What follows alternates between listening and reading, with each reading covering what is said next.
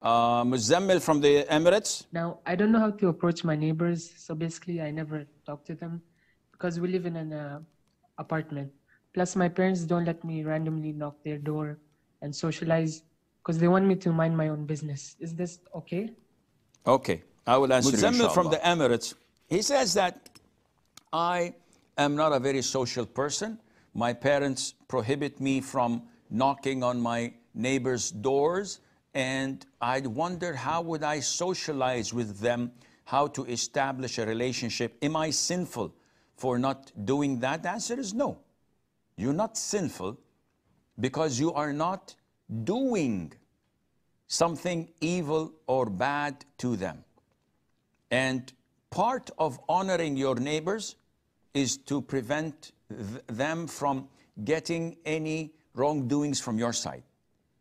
So this is level one. I don't throw trash in front of their door.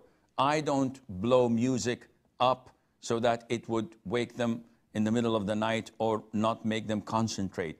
I don't uh, um, uh, peek and try to eavesdrop or to look at awrahs here and there of my neighbors. So this is level one. Level two, which is the best and highest, is to be kind to them, to send them food in Ramadan, some sambusa, some shorba, some soup.